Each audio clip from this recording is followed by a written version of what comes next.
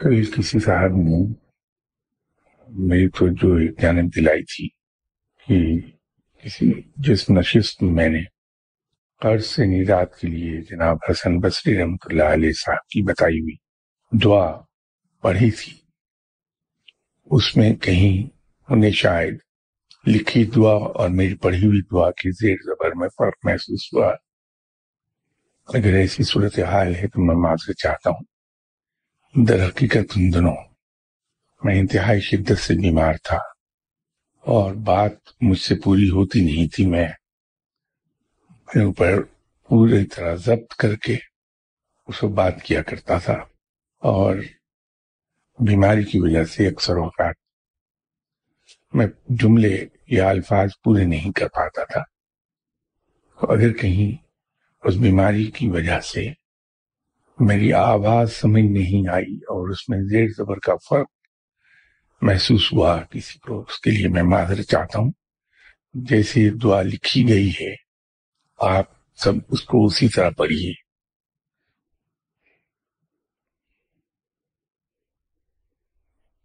एक साहब ने सवाल किया है कि I have about Miraj Sharif.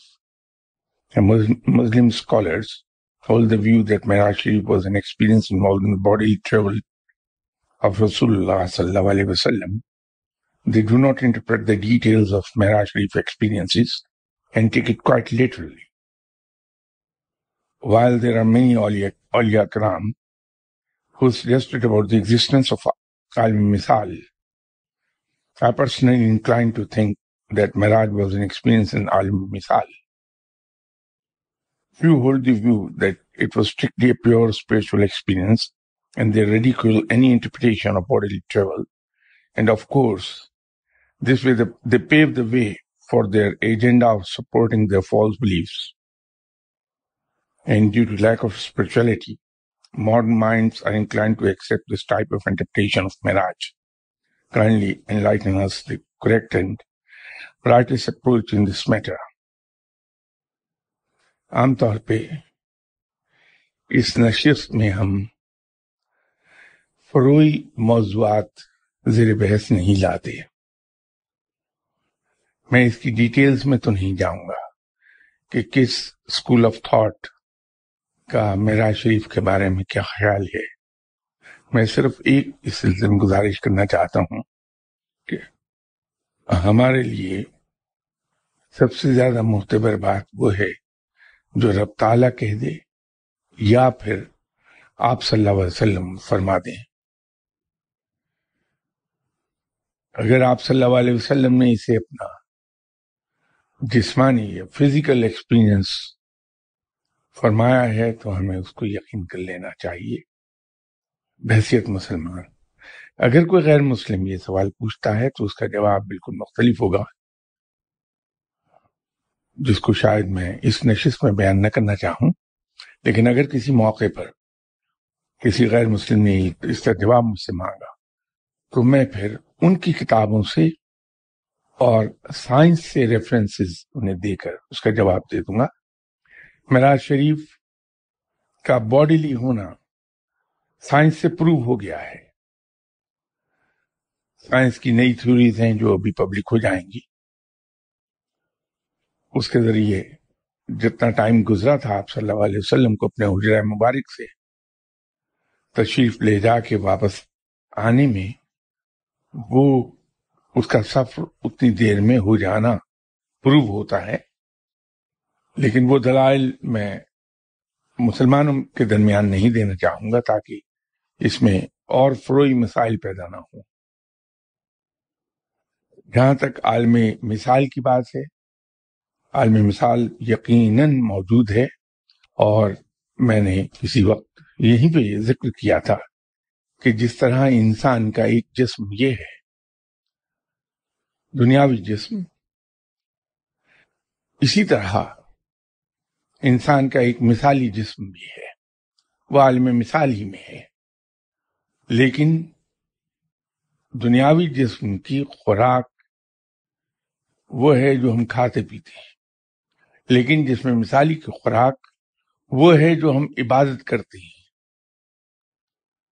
जब हम ऐसी इबादत करते हैं, जो हमारी बॉडी केमिस्ट्री से मुताबिकत रखती हैं ऐसे अल्फाज अदा करते हैं, जो हमारी बॉडी केमिस्ट्री से मुताबिकत रखते हैं तो वो जिसमें मिसाली तंदुरुस्त होता है, फलता फूलता है। और जब हम ऐसे लफ्ज पढ़ लेते हैं, जो मुताबिकत नहीं रखते हमारी बॉडी केमिस्ट्री से तो वो जिसमें मिसाली मजरू होता है, कमज़ोर हो जाता है। इसलिए मैंने गुजारिश की थी कि अगर आप तस्बीहात पढ़ें ज़िक्र अजकार करें, औराद करें वजायफ पढ़ें तो किसी न किसी से पूछ लीजिए जो साहिब इल्म हो आपकी नज़र में। अगला सवाल किसी ने पूछा है कि कुरान मजीद के मुताबिक कायनात से क्या मुराद है? देखिए, कायनात से मुराद ये है कि जो कुछ इस प्लेनेट ज़मीन और आसमान के दरमियान है। वो सब कायनात है। और हमारा जमीनी निज़ाम, हमारे सियारे का निज़ाम, एक उसका बड़ा छोटा सा हिस्सा है। इसे एक जहान भी आप कह सकते हैं। और आसमान से परे जो कुछ मौजूद है, पहले आसमान से लेके अर्श मोल्ला तक वो सब का सब दूसरा जहाँ है। बड़ा आसान सा। इसलिए सबसे आसान इंटरप्रिटेशन ये है कि पहले आसमान से नीचे जो कुछ है वो कायनात है या एक जहान है। हम कहते हैं दोनों जहाँ का मालिक है। रब ताला को उससे मुराद हमारी ये होती है कि आसमान से नीचे और आसमान से ऊपर आसमान से नीचे एक जहान और आसमान से ऊपर दूसरा जहान। उसका मालिक है रब ताला। तो आप इसे कायनात के लीजिए। क्या कायनात फैल रही है? ये दूसरा सवाल है इनका। आसमान फैल रहा है या अपनी जगह पर कायम है?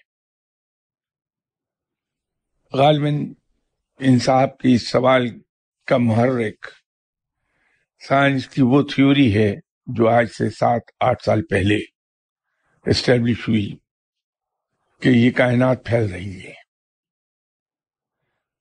हमें एक चीज़ याद रखना चाहिए कि साइंस की थ्योरीज माजी में भी बनती रही हैं और एस्टेब्लिश होती रही, बाद में तब्दील होती रही। एक जमाना था कि ज़मीन को चपटा कहा जाता था। ये यकीन और ये थ्योरी ये कंसेप्ट बहुत अरसा कायम रहा। उसके बाद एक नई थ्योरी आई कि ज़मीन गेंद की तरह गोल है। ये थ्योरी कई सौ साल कायम रही।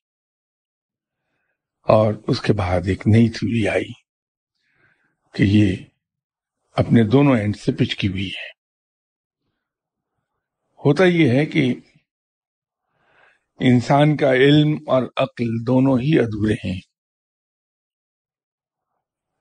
अल्लाह के हुक्म के मुताबिक जब इंसान गौर व फ़िक्र करता है, क्योंकि अल्लाह ने इनवाइट किया इंसान को, तुम गौर व फ़िक्र क्यों नहीं करते? तो जो लोग गौर व फ़िक्र करते हैं, वो नई बुलंदियों पर पहुँचते हैं, जहनी तौर पर। और वहाँ वो नई चीज़ें दरियाफ्त करते हैं। फ़र्क सिर्फ़ ये है कि वो लोग जो प्योरली साइंस में यकीन रखते हैं, वो ये समझने लगते हैं कि जहाँ तक हमने देखा है, शायद वही इंतहा है। लेकिन वो इंतहा नहीं होती। वो अपनी उस कमिलमी में ये समझ बैठते हैं कि हम आखिरी हद को चले गए तो उस थ्योरी को वो इंट्रोड्यूस करा देती हैं। लेकिन जब वो उससे फर्दर बुलंदियों पे जाते हैं तो पहली थ्योरी नेगेट हो जाती है। एक नई थ्योरी एस्टेब्लिश हो जाती है। रब ताला ने जो कुछ बनाया, उसे एक डेलिकेट बैलेंस के ज़रिए कायम कर दिया है। जिस दिन उस बैलेंस के अंदर हवा बराबर फ़र्क आएगा तो कयामत बपा हो जाएगी। तो अगर कायनात फैल रही है तो उसका मतलब ये हो गया कि इसके बैलेंस में फ़र्क आ रहा है। फैल नहीं रही। वो कायम दायम है। अपने अपने मुकर रास्तों पर तमाम सयारी गर्दिश करते हैं। अल्लाह का फरमान है। अल्लाह ने उनके रास्ते मुकर कर दिए हैं, उनसे हटते नहीं। जिस दिन कोई सयारा या सयारचा अपने मकाम से हटेगा तो तबाही ले आएगा। कुर्सी नूर है और उसने आसमान और ज़मीन को घेर रखा है। कुर्सी का नूर आसमान और ज़मीन के दरमियान या ज़मीन पर नज़र क्यों नहीं आता? बात यह है कि कुछ बातें तमसीलन बयान की जाती है। ये जो सूफीज्म के बारे में इतनी गलतफहमियाँ फैली हैं एक अजीब से तस्वरात एक अजीब नज़रिया हर एक के जहन में कायम है। वो लोग जो सूफीज्म के कायल हैं, वो उसे एक इंतहा पर ले जाते हैं कि जो कुछ है वो सूफीज्म ही है। एक मकतबा फ़िक्र के लोग सूफीज्म को शरीयत से बिल्कुल एक मुख्तलिफ़ चीज़ गर्दानते हैं। जो लोग उसके मुखालिफ हैं, वो ये कहते हैं कि इस्लाम के खिलाफ है, ये चीज़। हो ये जाता है कि हम अफरात तफरीक के जद में आ जाते हैं। अफरात तफरीक का शिकार हो जाते हैं। हम एतदाल पर नहीं रहते, उसे दरमियान में नहीं रखते और इसके अंदर कुछ कसूर सूफिया कराम का भी है। कि सूफिया कराम ने जो मैसेज कन्वे किया, हर सूफी ने अपनी जहनी सतह के मुताबिक उसको बयान कर दिया। अक्सर लोग बाबुल शाह का एक शेर मुझे कोट करते रहते हैं। जैसे मैंने अर्ज़ किया कि शेर मुझे याद नहीं रहते उसका मफहूम याद रहता है शेर का। तो मफहूम कुछ ऐसा है कि मैं अपने दोस्त को नाच नाच के मना। अब लोग उसको उसके लिटरेरी मायनों में लेती हैं। इसी तरह हज़रत निजामुद्दीन औलिया ने अपनी शायरी में एक जगह ये कहा कि एक वक्त आएगा कि हमारी डाई, हमारी मोहर ये नए सिक्के पर लगेगी। अब इन दोनों के मायने कुछ के कुछ हैं, अल्फाज कुछ और कहते हैं। मायने कुछ और हैं, मफहूम कुछ और कहता है। ये तीनों ही चीज़ें मुख्तलिफ़ हो जाती हैं। लेकिन हम लोग चूँकि उसे सरसरी अंदाज में देखते हैं, हमारी अपनी एक जहनी सतह है, और जिस आदमी ने वो शेर कहे, उनकी जहनी सतह हमसे कहीं बुलंद है। और फिर तमाम सूफिया कराम, तमाम ओलेमा हजरात, एक अलहदा अलहदा जहनी सतह के मालिक रहे। अगर एक बात जनाब हज़रत पीरानी पीर कौशल आज़म दस्तगीर साहब बयान फरमाएँगे तो वो अपनी जहनी मैार से बात कहेंगे, और वो जहनी मैार बहुत बुलंद है। उसको एक छोटा मोटा फकीर और एक छोटा मोटा सूफी भी समझ नहीं पाएगा। अगर एक बात हज़रत अली करमल वजह कहती हैं अपने रंग में हालाँकि हज़रत अली करमल वजह और हज़रत इमाम हुसैन रज़ी अल्लाह तला और इसी तरह जनाब हज़रत इमाम हसन रज़ी अल्लाह आप तो बड़ा स्ट्रिक्टली उस पर अमल करते रहे कि अपने मुखातिब की जहनी सतह के मुताबिक गुफ्तु करो। इसीलिए इन तीनों हजरात के और इन सबसे बढ़कर आप सल्लल्लाहु अलैहि वसल्लम के हदीस इतनी आसान लफ्जों में है। उसमें कोई इस्तारे कोई मुशाबहात, कोई कहीं कुछ नहीं बयान हुआ। इंतहाई सादा ज़ुबान में बयान कर दिया गया। अहादीस नहायत सादा ज़ुबान में है। इसको कोई भी समझ सकता है। हज़रत अली करमल वजह के फरमुदात बहुत आसान ज़ुबान में है। डायरेक्टली समझ आ जाते हैं। हज़रत इमाम हुसैन रज़ी अल्लाह तु हज़रत इमाम हसन रज़ी अल्लाह तु के भी यही मामला हैं नहायत आसान ज़ुबान इस्तेमाल हुई है। लेकिन हमारे अलिया कराम ने बाद में जैसे वो एक और शेर शायद मोहम्मद बख्श साहब का है कि खास लोगों की बातें आम लोगों के सामने नहीं कही जाती। उसके मसदाक अलियाम और फकरा हजरात ने जो कोई बयान किया, उनको ऐसे अल्फाज में बयान कर दिया, जिसको आम समझने वाला आदमी उसकी फेस वैल्यू से लेगा। जैसे मैंने बाबा बुल्ले शाह साहब के एक शेर का हवाला दिया, या नौलिया रहमत साहब के एक शेर का हवाला दिया आपको तो वो उसको उसी मानी में ले लेगा। इस्लाम में मर्द का नाचना जायज़ नहीं है। डांस करना। हर वो काम जो खातन तक मखसूस है, वो मना है मर्दों के लिए करना। जेवर पहनना, चूड़ी पहन चूड़ियाँ पहनना, रेशमी लिबास पहनना, ये सब मना है मुसलमान मर्द को।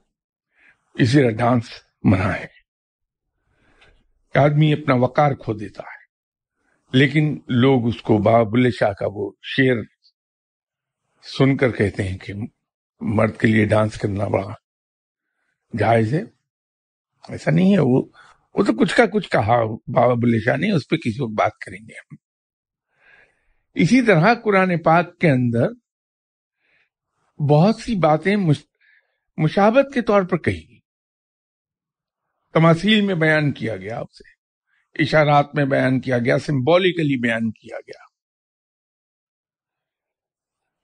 अब ये जो कुर्सी का नूर घेरे हुए है पूरी कायनात को, दर हकीकत, इससे मुराद ये नहीं कि कुर्सी एक नूर है और वो पूरी कायनात के इर्द गिर्द फैला हुआ है, उसने कायनात को मलफूफ किया हुआ है अपने अंदर और उसकी टॉप पर कहीं रफ्ताला चढ़कर बैठा है। उससे मुराद बिल्कुल ये नहीं है। ये तमसीली तौर पर कहा गया है, इशाराती तौर पर। मुतशाबहात में इसको शामिल हम करेंगे कि अल्लाह का नूर इतना वसी है कि इस कायनात में और दूसरे जहान में जो चीज़ें भी हैं वो इस नूर के अंदर लिपटी हुई हैं, अल्लाह की कुदरत के अंदर। इस नूर से मुराद रब की कुदरत, रब की हुक्मरानी, रब की अथॉरिटी रब की रिट ये मुराद है। तो ये पूरी की पूरी, ये कायनात हो या आसमान से ऊपर की कायनात? वो सब उस पर मोहित है रब ताला की कुदरत, उसकी अथॉरिटी उसके रिट उसकी हुकूमत। वो मालिक है। कुल जहानों का। इससे मुराद वो है। और अथॉरिटी इतनी गैर मरई चीज़ है कि वो दिखाई नहीं देती। हुकूमत, रिट, कुदरत ऐसी चीज़ है जो दिखाई नहीं देती, वो गैर मरई है। तो नूर कैसे दिखाई देगा? हाँ रब ताला की तजल्ली है। वो कुछ लोगों ने देखी है। फिर रब का अपना एक जाती नूर है। वो भी कुछ लोगों ने देखा है।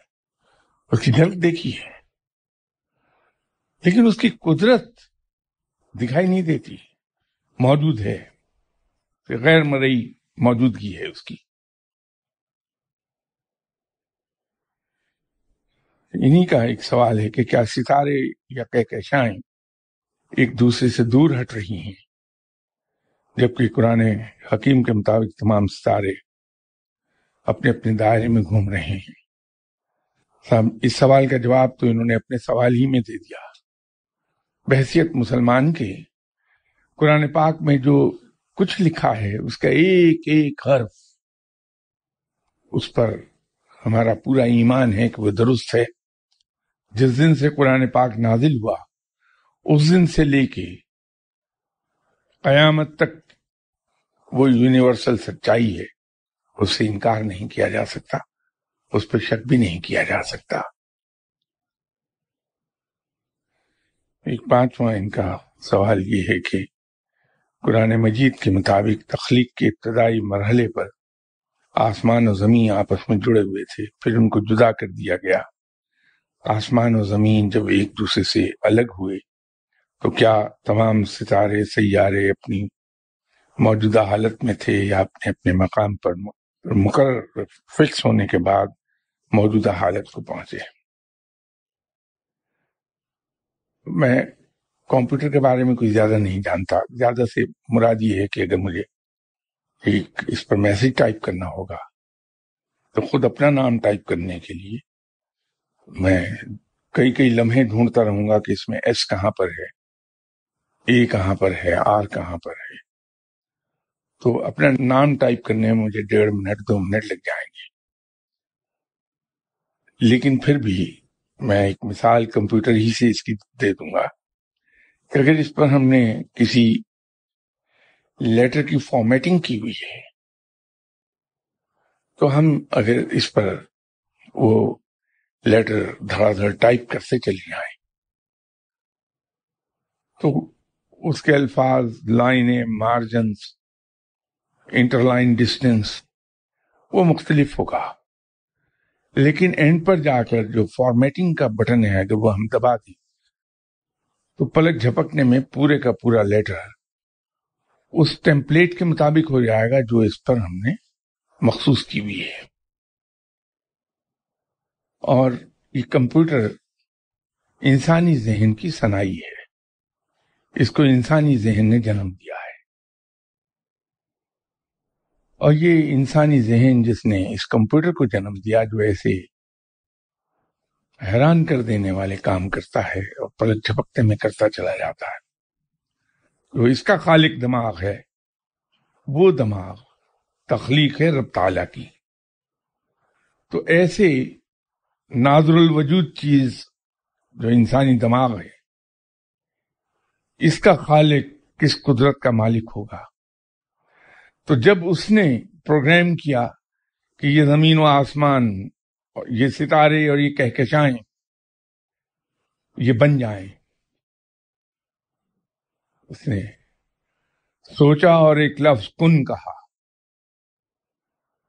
उसने ये चाहा कि ये कायनात वजूद में आ जाए और उसने कुन कहा और छह दिन और छह रातों में कायनात वजूद में आ गई। अब इसके वजूद में आने में जो छह दिन और छह रातें लगी तो इसकी मिसाल वही है जो मैं अर्ज़ कर रहा था कि लेटर टाइप हो रहा है। और वो सही शक्ल लेगा उस वक्त जब आप उसको टेम्पलेट के मुताबिक सेट करने के लिए कमांड देंगे। तो वो बिग बैंग हुआ, उसके बाद ये आग का गोला अलहदा हुआ। तो ये सब चीज़ें वजूद में आती गई, छह दिन और छह रातों में। वो मुकम्मल होने के बाद वो जो रफ्तालन ने चाहा था कि इस टेम्पलेट पर ये कायनात वजूद में आ जाए। वो अपनी शक्ल ले गई। बहुत सीधा सा मसला है। तो वो छह दिन में जो प्रोसेस चलता रहा छह रातों में, वो प्रोसेस यही था जो आप बयान कर रहे हैं।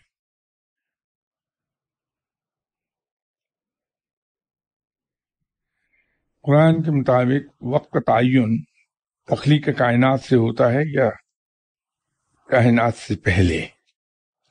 अब ये किस वक्त का तयन फरमा रहे हैं आप? अगर तो जमीनी वक्त की बात है तो वो तखलीक कायनात के बाद से है। और अगर उसका ताल्लुक आसमानों के वक्त से है तो साहब उसके बारे में सब गेस वर्क है। आज तक सही कोई तनासब उसका तयन नहीं कर सका। कि दुनिया का एक दिन आसमान के कितने घंटों के मिनटों के या सेकंड्स के बराबर है। वो है तो ये अजीब सी बात के लेक्चर में इस किस्म की लाइट गुफ्तु की जाए, लेकिन ये वक्त तयन से और दुआ के रेफरेंस से खास तौर पे समझ आ जाती है कि हम लोग करते क्या है मुसलमान, जिससे हमें एतराज़ करना चाहिए।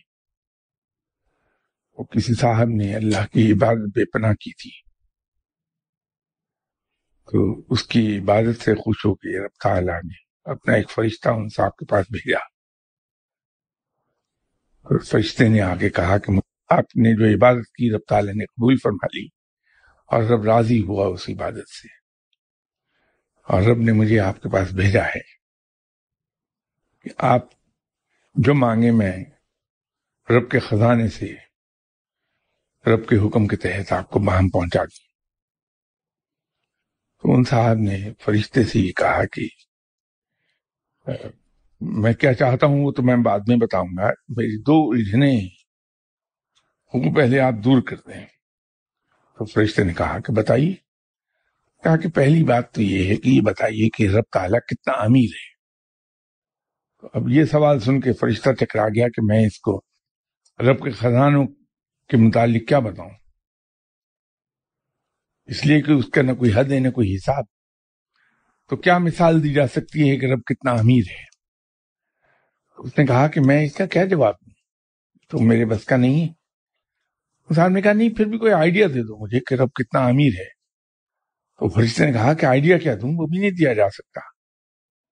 तो उन साहब ने अपना जहन दौड़ाया कि सबसे ज़्यादा अमीर आदमी को मैं किसको जानता हूँ?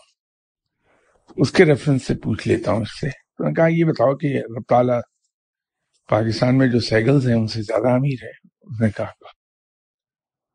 एक जर्रा और सूरज का मुकाबला भी नहीं है वहाँ तो। उसने कहा, फिर पूरे पाकिस्तान में जितने अमीर लोग हैं, सबके बराबर है। वो भी कोई मुकाबला ही नहीं। उसने कहा, चलो फिर यूँ बता दो कि रब की जो दौलत है, रब का एक रुपया हमारे मुल्क के कितने रुपयों के बराबर है? वो फिर हैरान हुआ, फरिश्ता के क्या जवाब दूँ? इन साहब ने खुद ही कहा कि, क्या हमारे सौ रुपए के बराबर अल्लाह का एक रुपया उसने कहा, नहीं, कहीं ज़्यादा। एक लाख? नहीं, उससे भी कहीं ज़्यादा। एक अरब? उससे भी कहीं ज़्यादा। सौ अरब? अब फरिश्ता तंग आ गया था। अपनी जान छुड़ाने को कहने लगा कि, चलो, यूँ ही समझ। लो देखो, इतनी छोटी सी बात थी जो तुम घबरा रहे थे। अब पता लग गया मुझे, अल्लाह का एक रुपया हमारे सौ अरब के बराबर है। उनका दूसरी चीज़ ये बताओ कि अल्लाह का टाइम स्केल क्या है? अल्लाह का एक मिनट हमारे कितने घंटों के बराबर है? वो फिर वहाँ बहस शुरू हो गई कि फरिश्ता कहे कि मैं क्या दूँ तुम्हें इसका आइडिया तो बात चली तो यहाँ तक बात आ गई। कि अल्लाह का एक मिनट दुनियावी हज़ार साल के बराबर है। तो उन साहब ने कहा कि इतनी सी बात थी जिसके लिए तुम बहस कर रहे थे। अब मैं बड़ा क्लियर हूँ कि अल्लाह का एक रुपया हमारे सौ अरब के बराबर है और अल्लाह का एक मिनट हमारे हज़ार साल के बराबर है। तो इस पर फरिश्ते ने कहा कि चलो, अब ये किस्सा खत्म हुआ, ये बताओ, दूँ क्या तुम्हें? तो इन साहब ने कहा कि ऐसा करो, तुम मुझे अल्लाह का एक रुपया दे दो। फरिश्ते ने कहा कि अच्छा एक मिनट, कहता, अब ज़रूरत नहीं, जाओ। इसलिए कि हज़ार साल कौन जिएगा? तुम्हारे एक मिनट के इंतज़ार में। तो ये टाइम का तयन कुछ ऐसा ही है।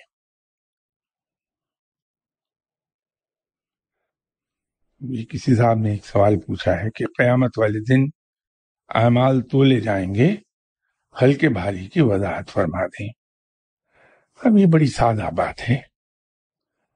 हल्के से मुराद मेरे गुनाहों से है और भारी से मुराद नेकियों से है।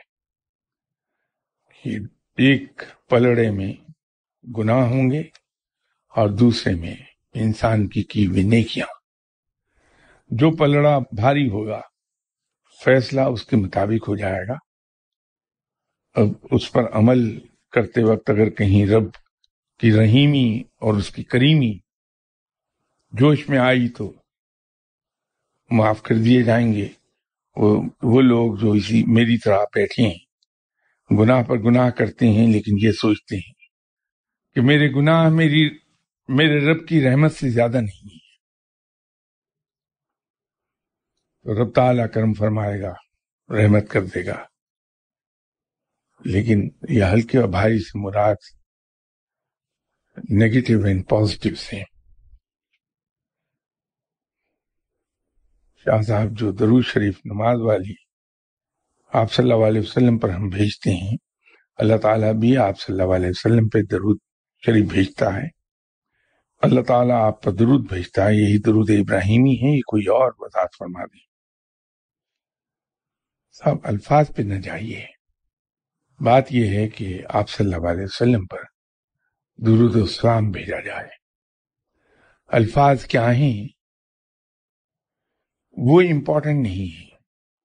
इम्पोर्टेंट सिर्फ़ इतना है कि वो किसी भी अल्फाज में हो, लेकिन दरुद इस्लाम भेजा जाए आप वसल्लम पर। दरुद इब्राहिम को फजीलत इसलिए हासिल है, उसको हम प्रेफर इसलिए करते हैं कि ये वो दरुद शरीफ है जो खुद आप सल्लल्लाहु वसल्लम नमाज़ में पढ़ते रहे हैं। तो हम अगर इसी सुन्नत पर अमल कर लें कि जो दरुद शरीफ आप सल्लल्लाहु अलैहि वसल्लम पढ़ते रहे वही हम पढ़ लें। और इस चक्कर में न पढ़ें कि रब ताला क्या पढ़ता है, क्योंकि वो तो किसी के इल्म में नहीं होगा। मेरे इल्म की हद तक किसी बड़े से बड़े वली अल्लाह को नहीं मालूम कि रब ताला किन अल्फाज में आप सल्लल्लाहु अलैहि वसल्लम पर सलाम भेजता है। एक और अगला सवाल ये है कि शाह साहब, फकीर भी आप सल्लल्लाहु अलैहि वसल्लम पर दरूद भेजता है वो कौन सा दरूद होता है उसकी भी वजाहत कर दें। जैसे मैंने अभी अर्ज़ किया कि अल्फाज इम्पोर्टेंट नहीं है। इम्पोर्टेंट वो जज्बा है जो दिल में होता है कि हम शुक्रगुजार हैं आप सल्लल्लाहु अलैहि वसल्लम की। कि आप सल्लल्लाहु अलैहि वसल्लम ने हम पर ये एहसान अजीम फरमाया कि अल्लाह का पैगाम जो सही रास्ता है, जो बख्शिश का रास्ता है, वो हम तक पहुँचा दिया। इस सिलसिले में आप सल्लल्लाहु अलैहि वसल्लम ने क्या दुख उठाए? वो हम सबकी नज़रों में है। तो हम शुक्रगुजारी का इजहार करते हैं। आप सल्लल्लाहु अलैहि वसल्लम पर दुरू शरीफ भेजकर। ये इजहार तशुक्र है। तो अल्फाज कुछ भी हों, वो मायने नहीं रखते। लेकिन आमतौर पर चूँकि सवाल किसी ने किया है तो मैं अर्ज़ कर देता हूँ। कि फुकरा हजरात आमतौर पर वो दरू शरीफ पढ़ते हैं जो ये लिखा हुआ है।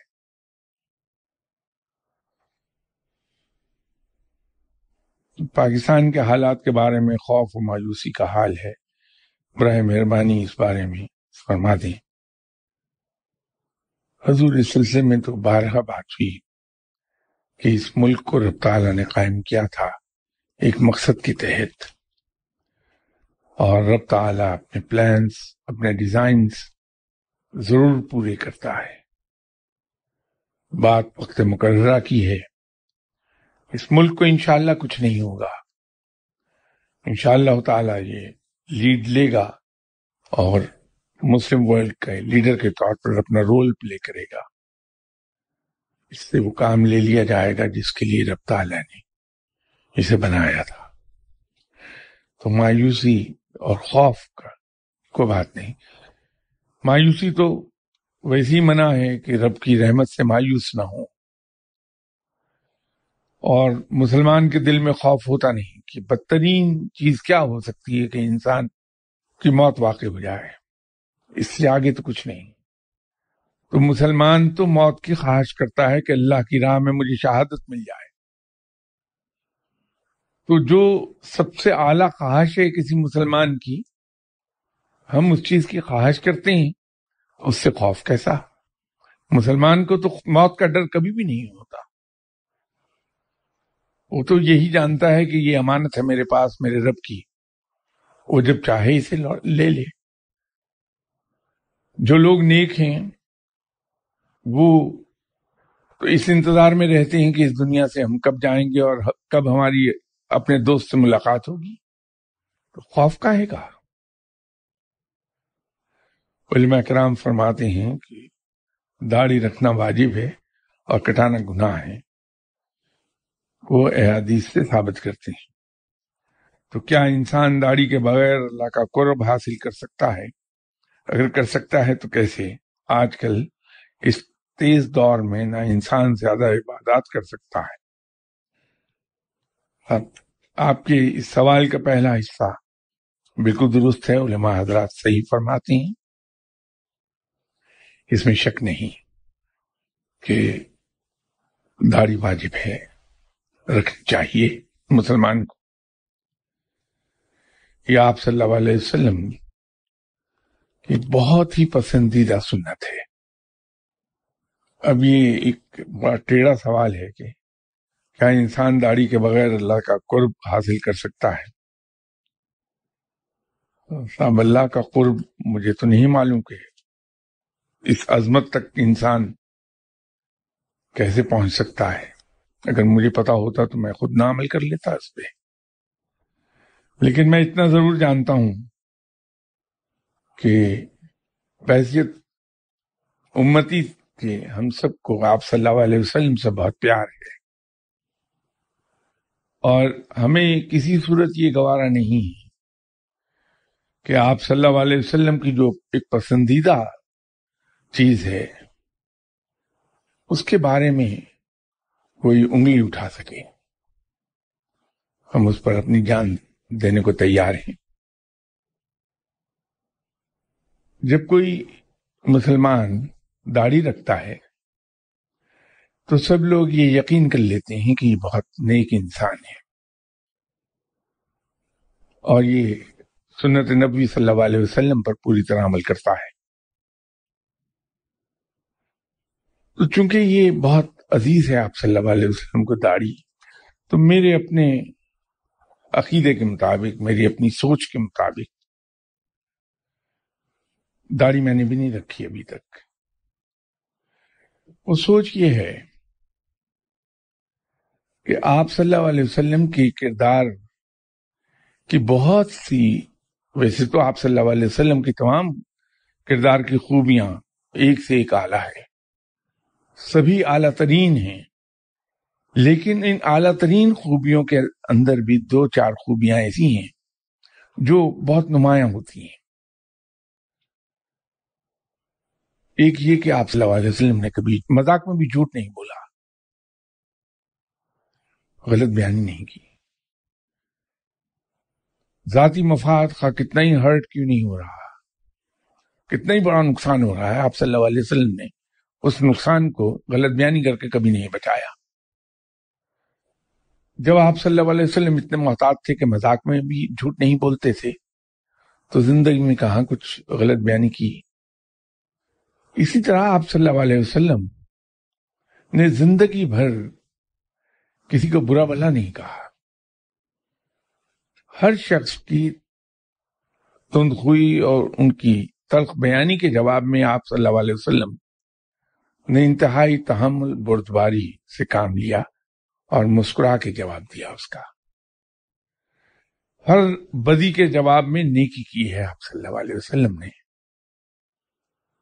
माफ़ कर देना और दरगुजर कर देना आप सल्लल्लाहु अलैहि वसल्लम पर खत्म था। इंतहा थी। ये वो खूबियाँ हैं आप सल्लल्लाहु अलैहि वसल्लम के किरदार की, जो उनके आला तरीन खूबियों में भी नुमाया होती थी। तो मैं ये सोचता हूँ कि मैं आप सल्लल्लाहु अलैहि वसल्लम की इन सुन्नतों पर पहले अमल करना सीख लूँ, कि अगर कोई मुझे बुरा भला कह दे, मुझ पर तनकीद कर दे तो मेरे चेहरे पर सवाए मुस्कुराहट की और कुछ ना हो। अपने बदतरीन दुश्मन से भी कभी बदला लेने की सोच भी ना आए। बदला लेना तो बड़ी दूर की बात है। मैं अपने बदतरीन दुश्मनों को बड़ी हँसी खुशी अपने सीने से लगाना सीख लू। यही सुन्नत है। इसी तरह मेरी ज़ुबान से कभी झूठ ना निकले।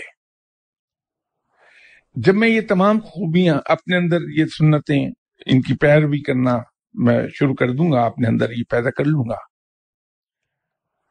उसके बाद जब मैं दाढ़ी रखूँगा तो वो मेरे अपनी सोच के मुताबिक जो कि हो सकता है दुरुस्त ना हो, वो दाढ़ी फिर वाकई ही ऐसी दाढ़ी होगी जो सुन्नत की पैरवी में रखी गई है। तो मैं तो अभी सलाम का जवाब देना भी ना सीख सका तो बाकी खूबियाँ पैदा करना तो बड़ी दूर की बात है। यूँ मैं दाढ़ी नहीं रख रहा कि मेरे किरदार से उंगली ना उठे कोई, कि दाढ़ी रख के झूठ बोल रहा है। और कुर्ब इलाही के लिए मैं ये अर्ज़ कर दूँ कि अल्लाह ताला को वो लोग बड़े पसंद हैं, जो उसकी मखलूक के लिए मेहरबान है।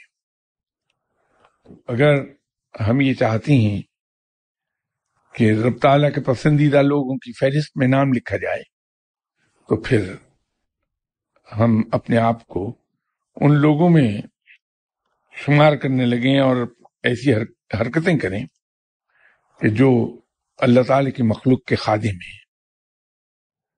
अल्लाह की मखलूक पर जान देती हैं। उसमें दोस्त और दुश्मन की कोई तफरीक नहीं है।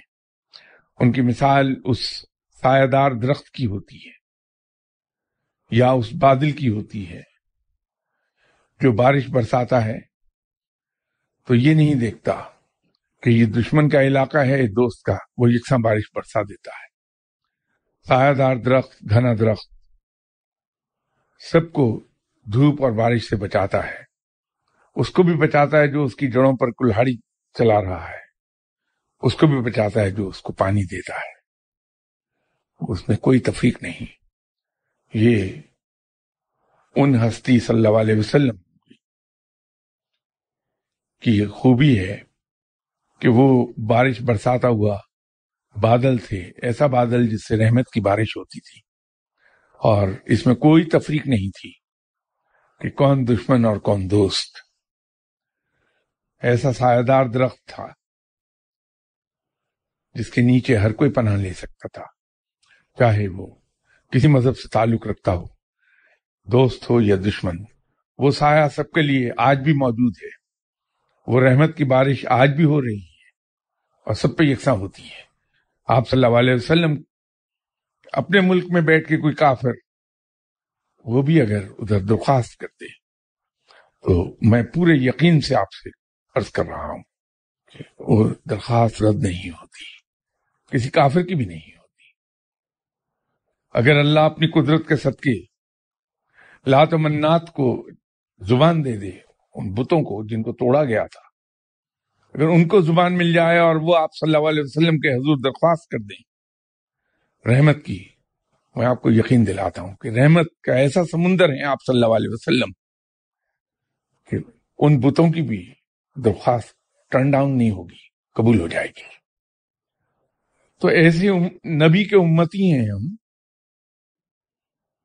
कल के खुदा के लिए अगर हम मेहरबान हो गए तो रब ताला की दोस्ती मिल जाएगी। आपका टाइम तो नहीं, मैं ज़्यादा ले रहा। इंशाल्लाह ताला इतवार मुलाकात होती है आपसे।